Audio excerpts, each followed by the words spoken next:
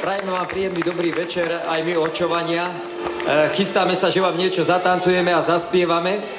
No a my sme veľmi radi, že sme mohli prísť e, dnes a po tieto dni k vám do Aradáča, e, pretože ako sme sa aj u môjho hostiteľa Janka Zvaru rozprávali, nám spolu treba robiť veľké dáke veci, veľké skutky, veľké činy a ja sa nazdávam, že práve to, že sa spolu stretávame, že sa spoznávame, že to je veľmi veľká vec a treba nám v tom vytrvať, navzájom sa spoznávať, podporovať a spolu sa baviť, e, pretože takéto dobré vzťahy, ako existujú medzi nami, sú veľmi vzácna, vzácna hodnota v dnešnom svete.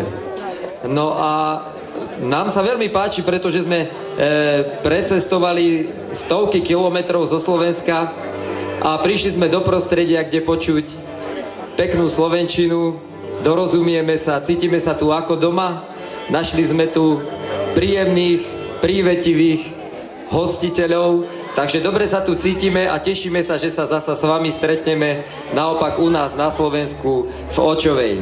Tak vám prajeme dobrú zábavu s našim folklórnym súborom, ktorý vznikol už v roku 1936, čiže v tomto roku má už 76 rokov. No a tešíme sa, že aj spolu s vami môžeme udržiavať tieto krásne tradície a že naše stretnutia budú pokračovať ďalej do budúcnosti. Prajme vám príjemnú zábavu.